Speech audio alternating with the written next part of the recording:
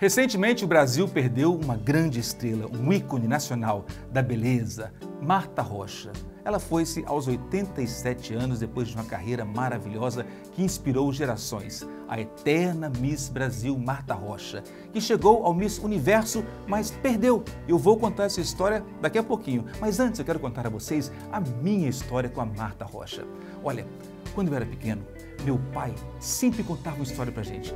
Que quando ele era jovem, lá em Minas Gerais, ele fugiu de casa, foi até Belo Horizonte e dormiu no relento, na porta de um hotel, para ver a Miss Brasil Marta Rocha de perto. Ela era o ícone da beleza dos brasileiros, do meu pai, era o sonho dele, de tantos outros daquela época, porque era uma mulher encantadora, sempre foi. E meu pai então ficou lá, esperando a Marta Rocha passar, e ela passou por ele e ele nunca esqueceu aquilo. Ele contou para a gente a vida inteira do dia que ele viu de perto a maravilhosa Marta Rocha. Eu cresci ouvindo essa história.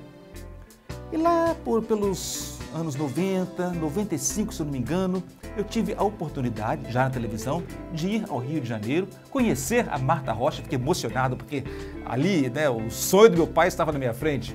E a Marta Rocha nos recebeu na sua casa, na Lagoa Rodrigo de Freitas, e foi muito gentil comigo, deu uma entrevista e ali começou uma amizade.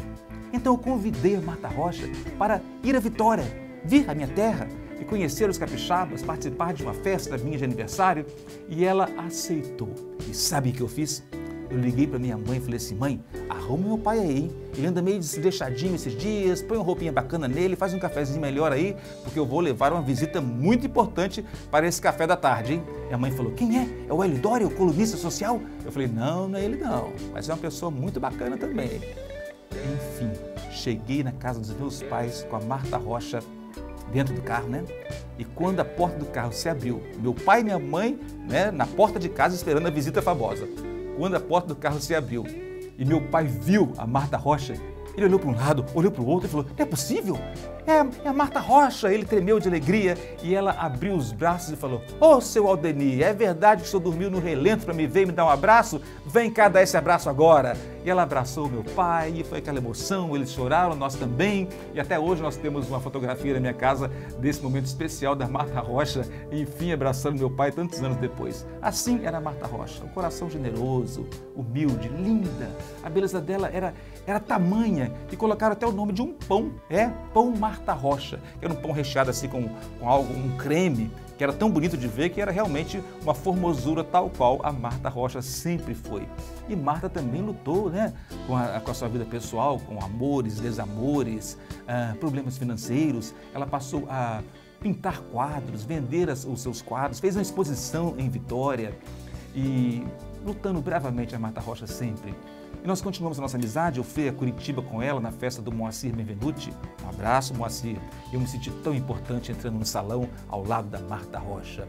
E por falar em estar ao lado da Marta Rocha, um, das, um dos momentos mais importantes da minha vida que eu lembro é estar na cobertura do Jambert, o cabeleireiro mais famoso que o Brasil já teve.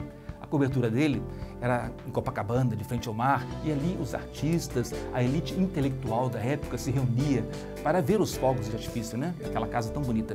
E eu estava ali, na janela, no parapeito, encostadinho assim na Marta Rocha. E quando eu olhei para o lado e vi aqueles olhos maravilhosos, eu falei, Marta, esse Réveillon é o melhor da minha vida eu abri o ano olhando não, não para os fogos, mas para os olhos da eterna Marta Rocha. Aí ela encheu os olhos d'água, eu também, nós nos abraçamos e, enfim, foi um momento muito especial ali que eu dedico ao meu pai. Mas a Marta Rocha, quando ela foi a Miss Universo, quando ela quase foi Miss Universo, ela participou do Miss Universo e ela perdeu por duas polegadas a mais, duas polegadas na cintura, nos quadris. Olha só que injustiça. O brasileiro ficou tão revoltado, mas o brasileiro tão alegre e mesmo revoltado sabe fazer piada e nós sabemos disso em tempos de política estranha, não é verdade? Naquela época, os gaiatos, como se dizia naquele, naquele, naquela época, fizeram um sambinha que ia mais ou menos assim.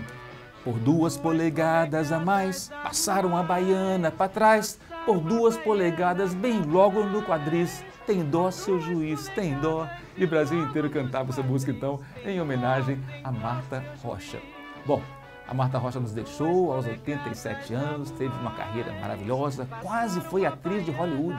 Ela recebeu o convite para, para assinar um contrato com Hollywood, Mas ela declinou. Ela preferiu ficar aqui, cuidar de seus filhos, da sua família, da sua vida, e assim Hollywood não conheceu o que nós conhecemos. O brilho, o glamour dessa eterna Miss Brasil. Nunca, nunca haverá uma Miss como Marta Rocha. Com certeza outras beldades virão e criarão também o seu caminho, farão também a sua história. Mas a Marta Rocha, a baiana, é única. Marta Rocha, nós te amamos para sempre e eu em especial, porque você faz parte da minha carreira, da minha vida, da minha família. Que brilhe muito aí no céu. Meu pai está aí, ó. Bate um papo com ele. Beijão para todos os fãs da Marta Rocha.